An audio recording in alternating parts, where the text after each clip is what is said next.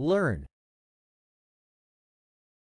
The word learn is a verb that means to acquire knowledge or skill through study, experience, or being taught. It is the process of gaining new information or abilities. When you learn something, you understand it and are able to use or apply it in some way. Here are a few examples of how learn can be used in different contexts. 1. Learning through study. I learned a lot about history by reading books. She is learning Spanish by taking classes at the community center.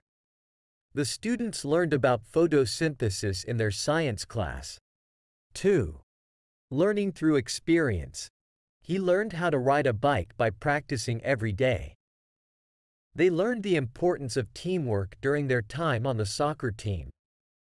I learned the hard way not to touch a hot stove. 3. Learning through being taught. The teacher explained the concept, and the students learned it quickly.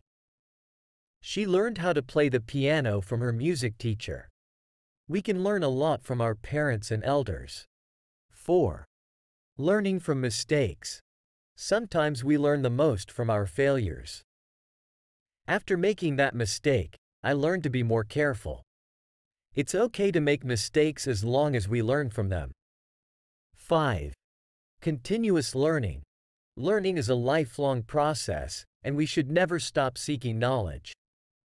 In today's fast-paced world, it is important to keep learning and adapting. Online courses and tutorials make it easy to continue learning from home.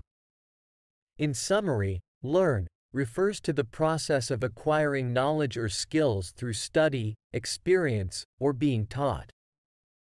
It is a fundamental aspect of human growth and development, and it allows us to understand and apply new information in various aspects of our lives.